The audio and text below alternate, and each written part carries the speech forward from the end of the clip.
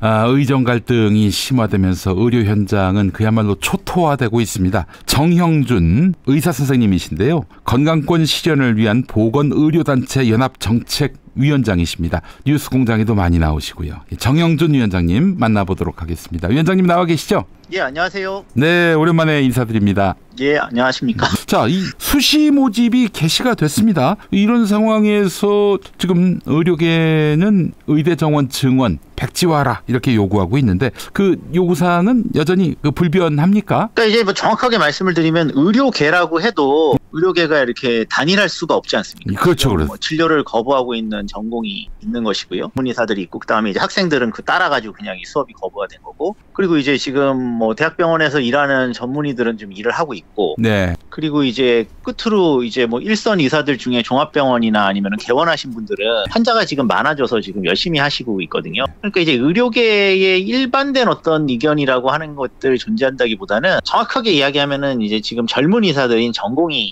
학생들의 요구. 가 백지화인 건데요. 아. 지금 왜냐하면 의료 대란의 원인은 어쨌든 전공의 파업이니까요. 네네네. 근데 이제 이 전공의 파업과 관련해서 정부가 그동안 협상을 거의 안 하지 않았습니까? 아, 그럼요. 그냥 뭐 아, 생무시를 했어요. 생무시를 국민들이 다 지금 고통받고 있는데 말이죠. 그러다 보니까 예. 지금 이 요구를 전공의들은 뭐 지금 방송 들으시는 분들이나 다 기억하실 텐데 지금 거의 7개월간 쉬기 때문에 네. 사실 지금 복귀를 해나 뭐 네. 내년에 복귀를 하나 수련 기간에 차이가 없습니다. 그러니까 이제는 아, 그냥. 자포자기 상태가 됐고요. 그렇다면 지금까지 본인들이 뭐 요구했던 바를 특별히 지금 후퇴할 이유가 없는 상태가 된 것이죠. 처음에 뭐 1, 2개월 당시에 어떻게 합의를 했으면 네. 어느 정도의 일정 수준의 뭐 증언 규모나 이런 것들이 협상의 여지가 조금이라도 있었을 텐데 지금 7개월이 지난 상황에서는 이미 치킨 게임으로 지금 진행이 글쎄. 말이에요. 그래서 뭐 증언 백지화 요구가 불변이라고 지금 뭐 여당의 안철수 의원 같은 경우도 뭐 2025학년도부터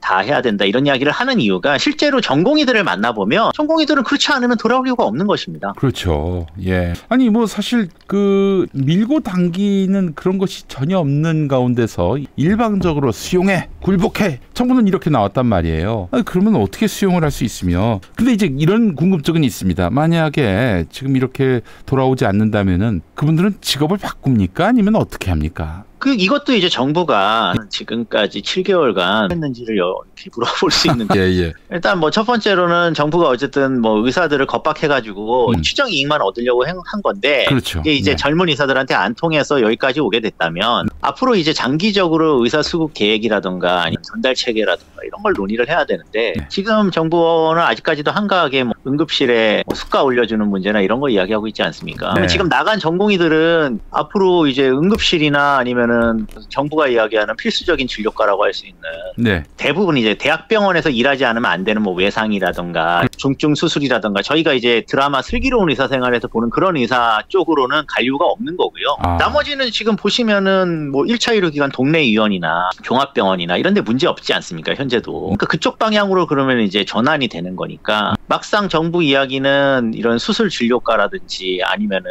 지역 의료라든지 이런 걸 이야기하면서 의사를 늘리겠다고 했지만 결국 거기에 걸맞는 어떤 구조 개혁이나 의료 개혁 방안이 지금 전혀 안 나오고 있기 때문에 이 전공의들은 거꾸로 그쪽을 이탈하게 되는 이런 음. 역설적인 상황이 이제 발생하게 되는 것이죠. 근데 그분들이 저기 그 의료 그 수준이 좀 낮은 다른 나라로 이주해서 이민해서 그렇게 해서 영혼이 안 돌아올 수도 있다 이런 염려를 하는 분들도 제가 주변에서 봤습니다. 맞습니까?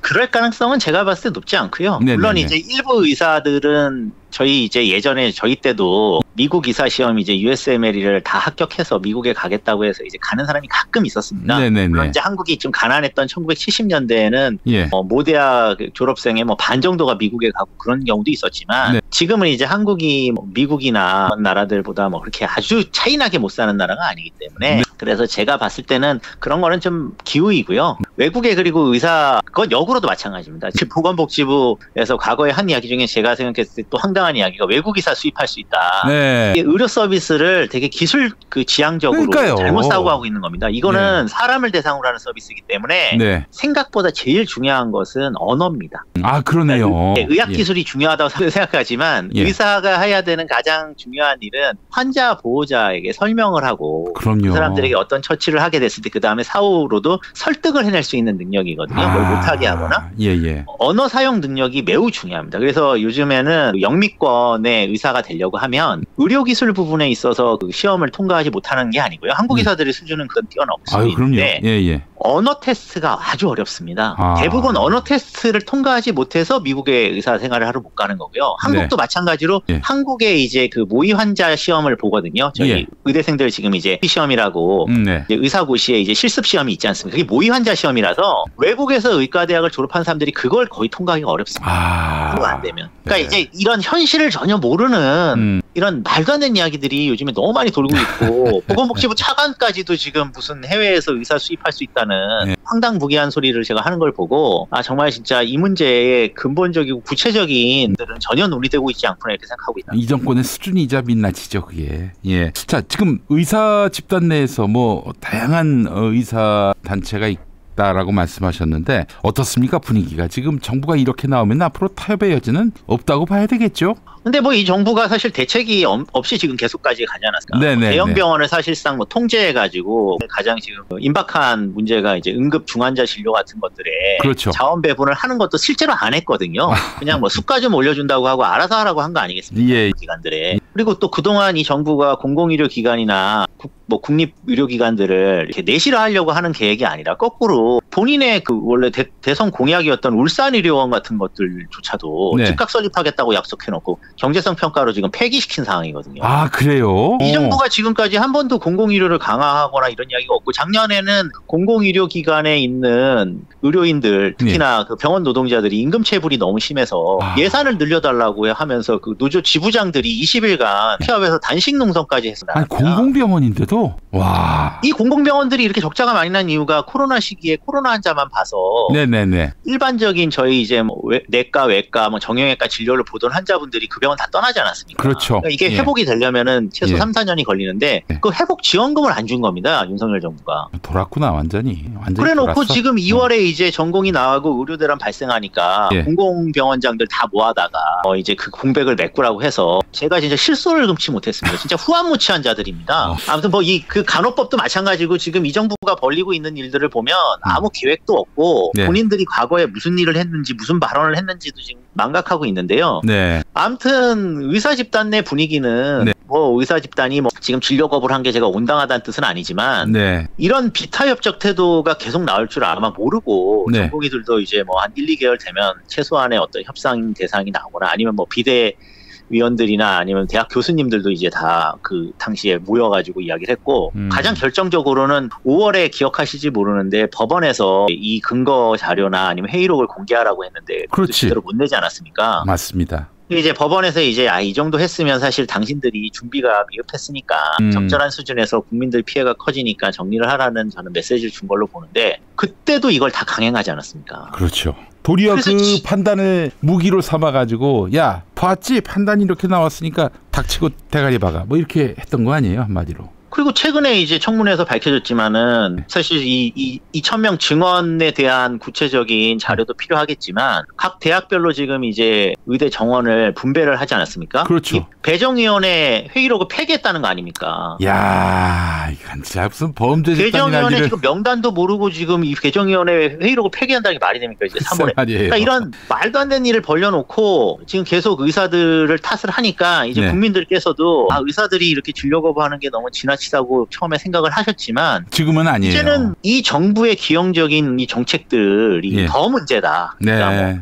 둘 중에서 누가 더 문제인가 했을 때 이제 생각을 하시는 것 같고 그리고 이제 전공의들이나 의사들도 그런 분위기를 알고 있기 때문에 사실 이 상황에서는 뭐 어느 정도의 타협점에서 정부 정책을 용인하면서 피할 가능성이 더 없어진 것이죠. 뭐 공보위라든지 군의관으로 대체하겠다 지금 그랬는데 또 군의관이 갔다가 그냥 도로 가라. 또 이렇게 병원으로부터 그렇게 또 지침이 내려오고 그야말로 카오스입니다. 혼란의 도가니예요. 지금 공보위 또 군의관으로 이 응급실 대란을 어떻게 해소할 길이 있습니까? 아, 그거야말로 탁상행정이라고 저는 생각하는데요. 제가 뭐 재활의학과 전문이라서 저 같은 비응급 질환을 오랫동안 진료했던 사람을 데려다가 할 수 없는 거 이거는 기본 상식이실 거고 음. 두 번째는 응급 진료나 뭐 신경외과 수술이나 흉부외과 수술을 했던 그런 네. 분들도 조차도 군의관으로 갔었던 분들을 다시 차출해도 그분들이 이제 새로운 병원 시스템에 익숙해지고 거기에 또 손발이 맞아야 되지 않습니까? 그 유기적인 시스템에 그한 스태프여야 되는데 뭐 그냥 의사면 다 된다고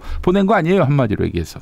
가서 무슨 일을 할 수 있겠습니까? 뭐 음. 어디에 응급 조치를 해야 되는 튜브가 있는지 음. 그리고 튜브를 같이 사- 삽입할 때 같이 손발을 맞춰본 간호사, 뭐 응급 지원 인력이 있는지 네. 알 수도 없고 그리고 음. 그분들도 이 사람이 여기서 계속 일하는 사람이 아닌데 그렇죠. 이게 불가능하죠. 음. 그러니까 그렇게 할 거였으면 이미 수개월 전부터 보내가지고 그곳에서 계속 일을 시켰어야 되는 겁니다. 네. 우리 저 정영준 위원장님께서 다른 매체하고 인터뷰에서 응급실 셧다운 걱정을 하셨어요. 그, 그 정부의 대책은 어떻게 좀 믿을만 합니까? 아니면은 아 이대로 가다가는 셧다운이다 이렇게 보십니까? 지금 이대로 가게 되면 네. 지금이 문제가 아니라 올 겨울이 되기 전엔 더 큰 문제 생기고 내년에는 아. 정말 되돌릴 수 없는 파국이 발생할 수밖에 없습니다. 어? 이건 아주 상식적인 겁니다. 왜냐면 지금 전공의가 일단 다 나가지 않았습니까? 전공의가 원래 상급종합병원, 뭐 권역응급센터 등을 운영하는 곳에서 네. 전체 인력으로 의사노동이 한 30%에서 35%를 차지했는데요.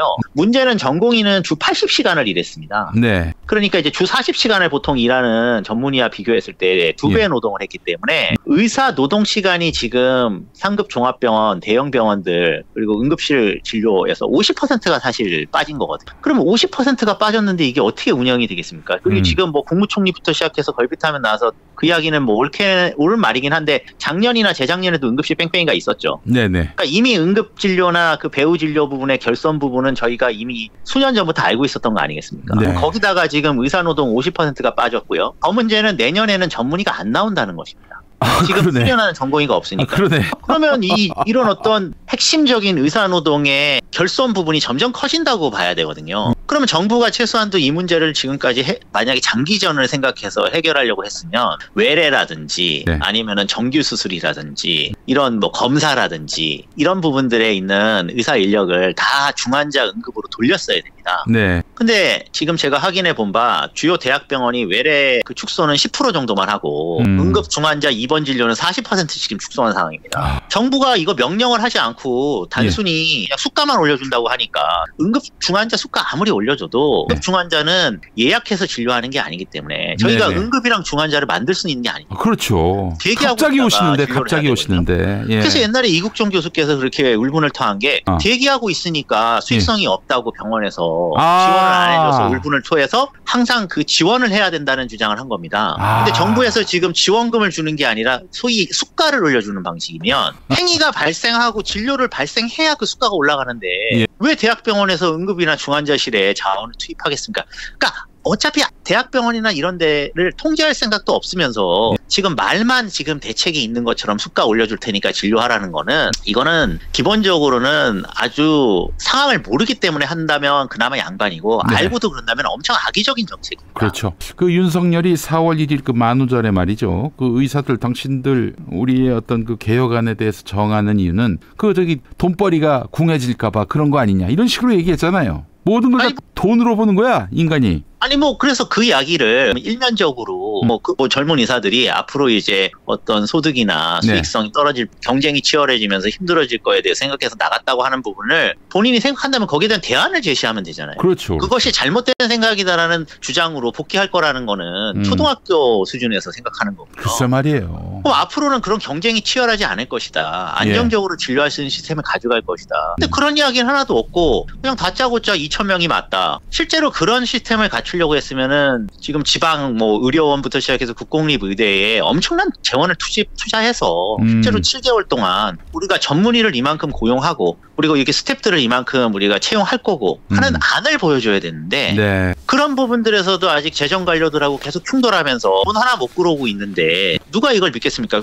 국민이 내는 건강보험료로 할 수 있는 수가만 올려주겠다는 거 아니겠습니까? 아, 그렇죠. 국민들이 낸 돈 가지고 지금 본인이 생생 내는 거 아니겠습니까? 맞습니다. 예. 자, 위원장님. 지금 윤석열이가 이러는 게 의료 민영화로 가기 위해서 길을 닦는 것이다. 이렇게 보는 분들이 있더군요. 이게 어떻게 설명이 가능한 이야기인지 잘 모르는 사람으로서 여쭤봅니다. 아, 뭐 간단하게 설명을 드리면 네. 윤석열 정부에서 윤석열 대통령이 뭐 이런 걸 이해하는 사람이라고 저는 하고 있지는 않고. 그냥 그 주변에서 뭐 이분이 뭐 뭐든지 이렇게 네. 이렇게 듣고 네. 그냥 네. 얼렁뚱땅 대충 하시니까 주변에 이제 이런 위기는 기회라고 생각해서 이제 붙어 있는 사람들이 있는데 네. 그 이제 사람들이 소위 의료를 민영화해서 다른 부분 돈을 많이 벌겠다는 것 같고요. 네. 그리고 실제로 7개월 동안 제가 앞서 이야기한 대로 그런 뭐 권역 응급센터라든가 네. 지역 의료 시스템에는 사실 가시적인 투자를 하나도 하지 않았는데 예. 지금 뭐 예를 들면 민영보험 활성화 정책이라든지 그 리고 2월에 전공의가 파업하자마자 아주 음. 신났다는 듯이 일주일 만에 뭐 비대면 진료를 전면 허용했는데요. 비대면 진료 앱이나 이쪽에 이제 그렇죠. 투자하고 있는 사모펀드나 투기 업체들 그리고 더 뒤에는 민영보험사들이 있는데 삼성이 이렇게. 군침 삼킨다는 얘기가 있어요. 예.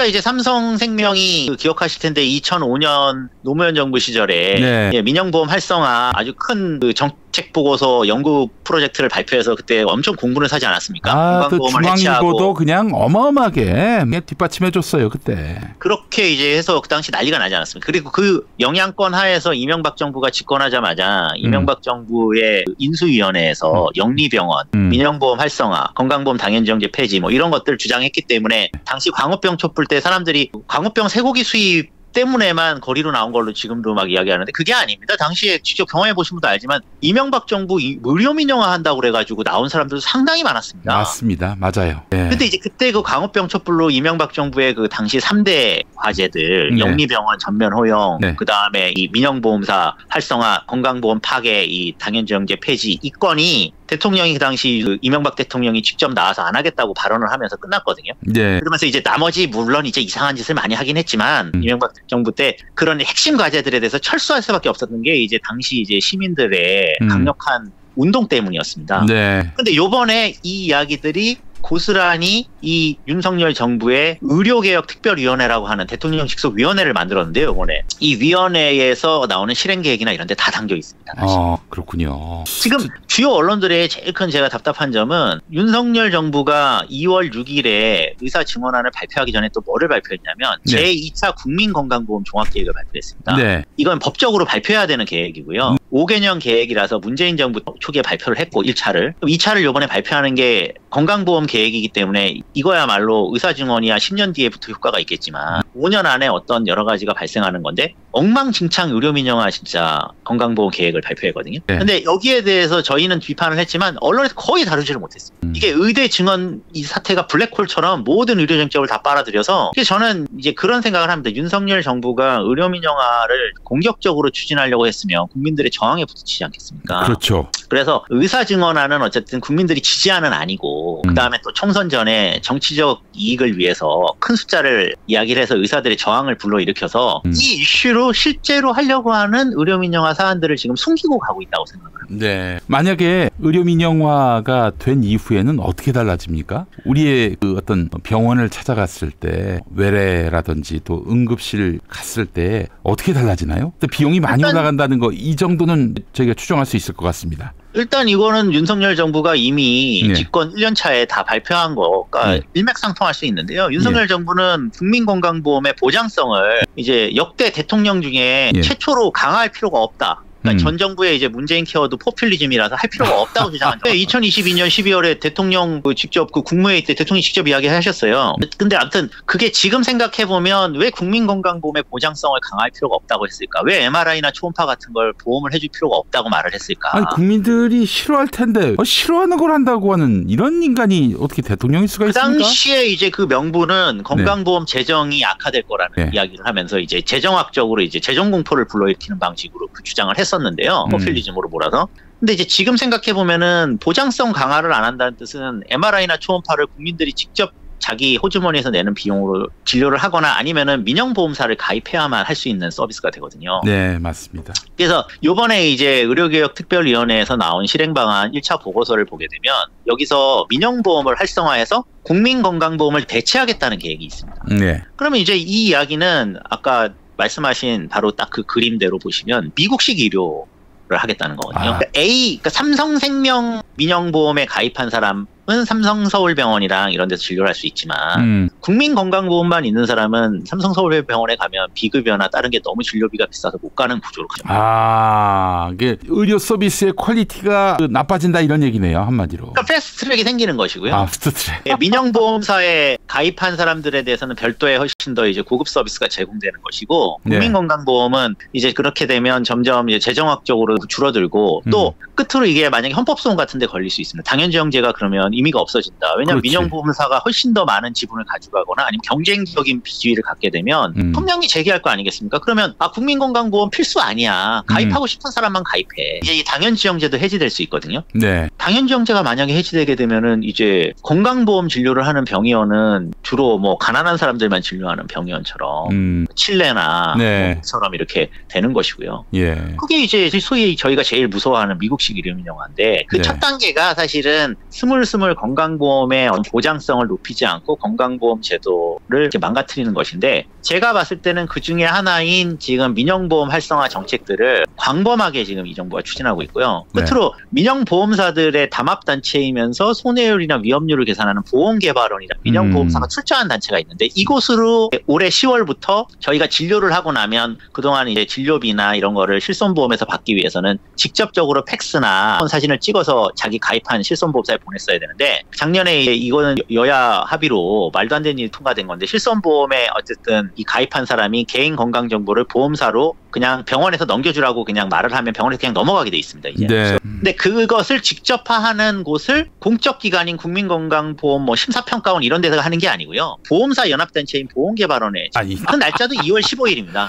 2월 15일이라는 점이 이미 심장하죠. 2월 6일 날 이제 2,000명 발표를 하면서 난리가 나 있을 때 조용히 금융위원회에서 보험개발원으로 국민들의 개인 건강 정보가 직접화될 수 있는 거를 허가를 했습니다. 야, 실제로 지금 이거는 10월부터 시행이 됩니다. 이제 10월부터 예, 병원급에서 의원급이 먼저 시작인지 병원급이 먼저 시작인지는 제가 지금 약간 깜빡깜빡 하는데 10월부터 둘 중에 하나는 이제 앞으로 보험 개발원으로 제 진료 정보가 실손 보험 가입한 사람이 보험금 받기 위해서는 넘어가게 되어 있습니다. 아. 그러니까 이런 정말. 것들이 주요 언론에 거의 나오지 않고 안 나와요? 몰랐어? 처음 들었어? 오늘 이 그리고 얘기를. 이제 이런 부분들이 논쟁이 되지 않는 이유가 만약에 2,000명 증언을 하지 않았으면 이거 이거 하나 하나만 가지고도 지금 엄청난 이슈인데. 지금 공분을 불러일으키면서 윤석열 정부 지금 아마 그 거리에 퇴진 투쟁에 예. 시민들 몇십만 명씩 끌려 나올 그런 쟁점입니다. 근데 예. 이 이야기를 전공의들 파업하고 의사대란으로 사실은 다 묶고 간 겁니다. 알겠습니다. 아 위원장님 오늘 너무 저기 중요한 정보를 알려주셔서 감사하고 하여간 이 일이 의사와 정부 사이의 일만은 아니라는 걸 일깨워 주셨어요. 저희가 이게